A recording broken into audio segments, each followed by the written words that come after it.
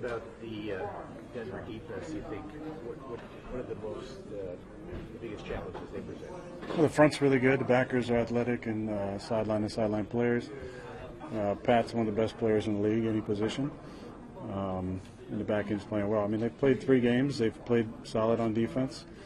Um, so it's going to be a good test for us. Of you talked about after the game how teams are attacking Garrett. I'm guessing game's going to be on this week. How do you balance, you know, wanting to get him involved versus forcing things?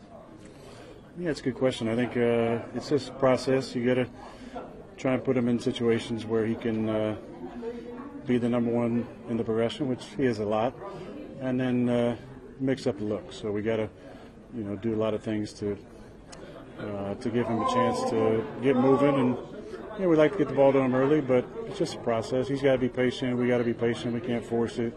Pat's a phenomenal player. Um, but you know Garrett is too, so it's going to be a good matchup. Those two guys.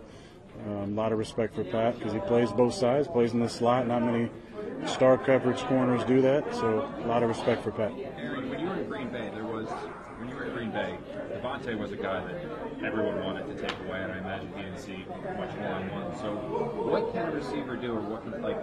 Because he still got his he still got his yards. What can he do to still get open or find a way to separate the defense when they are making it their goal to shut it down? Well, it's tough. If you're, if you're on the line and you're you're going to be uh, uh, doubled a lot with the safety, um, you know, we found different ways, move them around, motion, and sometimes you just attack the two shell. You know, uh, but it just comes in the flow. You can't, you know, you can't force it. You got to be patient, and you just got to do all the little things the right way. And there's going to be opportunities. You were bothered last year by what Payton said about Hack. Is that on your mind at all going into this game? Back of your mind, front of your mind? No, that's on mind? that's old news. You know, uh, we've all said things that we'd like to take back. Some things have been said and taken out of context. I'm sure from time to time, but I, I honestly haven't haven't thought about it till you just brought it up. Aaron, first three games back from last year's. Is right there. So. Oh, okay. Uh, Aaron, first three games back from the injury from last year. How do you feel like you've made it through, and now the team is two and one? At this point, three games in what ten days? How do you guys have how has the team made it through? Well, I can't say I'm uh, bereft of some difficulties with, uh, you know, the the Achilles, um, but it's a process. I feel better week one to week two, week two to week three, and then we got a nice little gift there with the, uh, the long weekend.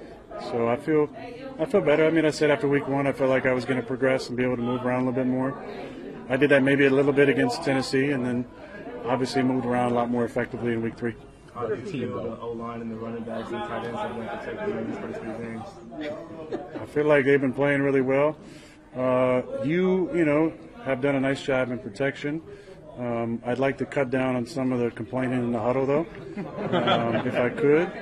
Uh, you got to remember, like this is, it's like in the Aesop fable. Like you know, we need to be the tortoise. You know, it's slow and steady wins the race. Sometimes you get a little uh, antsy out there. You want the ball. You're complaining. You're you know in my in my ear the whole time. We just got to understand it comes comes in the in the flow. Off the record. How many, how many guys are in your ear at the huddle at the same time? It must be like. I'm teasing Breece because he's annoying me here. Um, Breece is one of the best dudes on the team. I mean, you don't hear a peep from him out there, except for him telling me what his job is. I mean, he's he's brilliant on the field. Uh, he really understands the offense. Um, but no, when it, when when I'm in the huddle, when I step in, that's when the conversation stops. Before that, sometimes nice to just listen in and see what they're saying. Uh, but uh, but not a lot of communication. You obviously have a unique relationship with Allen going back a few years. I think after the game he said he, he wanted he gave you his jersey or something like that. I'm wondering if you could just elaborate on that, what, what you would do with something like that, and, and why you guys have clicked for so many years. Well, I think it's a it's a respect thing. You know, I, I watched him on the other field uh, the first time he was with us, and was like, "Who's that 13 I keep seeing on the field?" And we were on the green side, he was on the gold side. It was like ones and twos and threes and fours, and I said, "Let me get that 13 over on this side. We'll send you know a couple guys over there. Let me see what he can do against the ones and twos. And I just I, I really enjoyed his confidence that he played with, and then what made him money was the dirty work that he did you know, fitting in there, blocking safeties, inserting in the run game in our in our duo schemes. Um, and then his ability to make plays. You know, he came in in the fourth quarter against Detroit in his coming out party and made, I think, uh, four or five catches and a touchdown. And he kind of just announced to the world, "This is not too big for me. Uh, I can make all these plays." And I just kind of progressed from there. But I, I appreciate his approach this year. I think he's been even more dedicated to the details, and he's doing the things that got him paid. You know, he's blocking in the run game. Uh, he's making situational plays. He's uh, done great run after the catch for us. Um, and I'm really proud of Allen the way he's responded.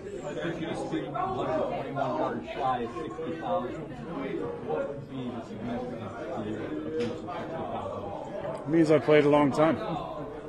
Uh, I remember when I was a young player, there was a lot of records Favre was getting. You know, I think he got uh, 421 touchdowns to pass Marino at the time.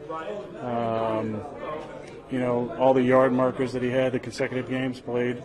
And he used to always say, well, just means I've been around a long time. And I was like, that means a little more than that.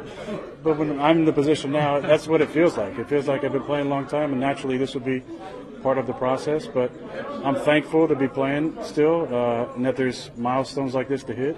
Uh, I know there's a story coming out about 10,000, 20, 30, 40, 50, I believe. Uh, spoiler alert, I apologize if that's a spoiler alert, Rich. Um, cut. Cut. Um, bringing some percussion over that to, you know, make it uh, make it go away. But uh, but no, I'm thankful for uh, all the guys that caught passes for me, all the guys that blocked for me. Uh, couldn't name them all, but uh, give me a little time. Did you? You mentioned Brett. I'm wondering yesterday's announcement if, how that resonated with you. Yeah, um, yeah, it's tough.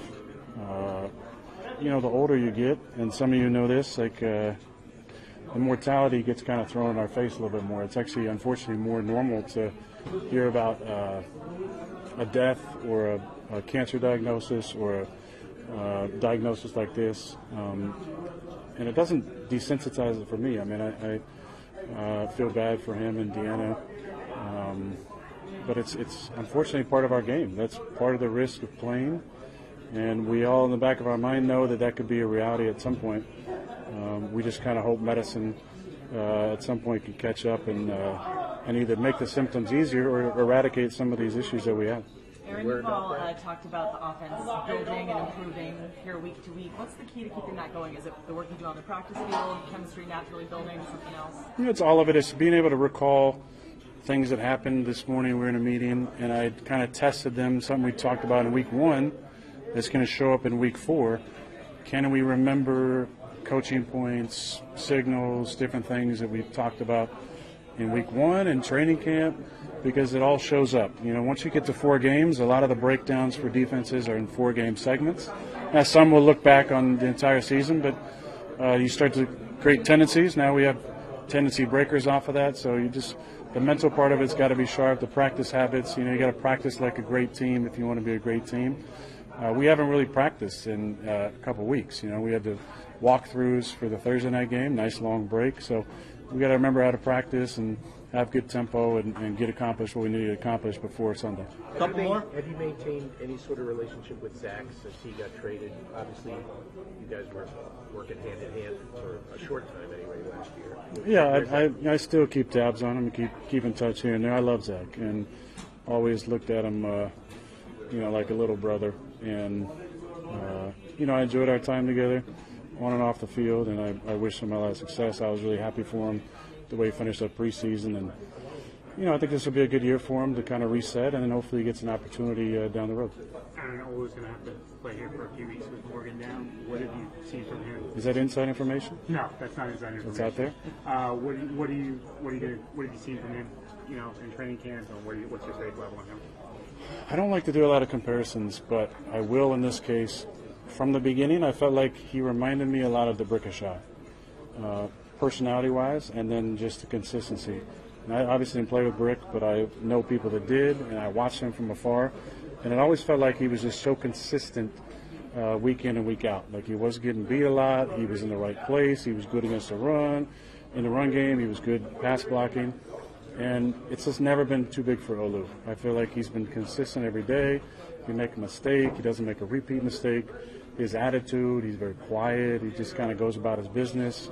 Um, so I think he's in a good spot. Obviously, he played a lot of left tackle, but he's played right tackle for us in training camp, in uh, on the look team the first three weeks. So um, I'm uh, very confident in Olu. Is part, is, Last part one. Of the, is part of the growing process for a team is how they handle prosperity.